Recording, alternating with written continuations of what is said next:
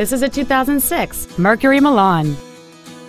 It has a 2.3-liter four-cylinder engine and an automatic transmission. This Mercury has had only one owner, and it qualifies for the Carfax buyback guarantee. Please call today to reserve this vehicle for a test drive.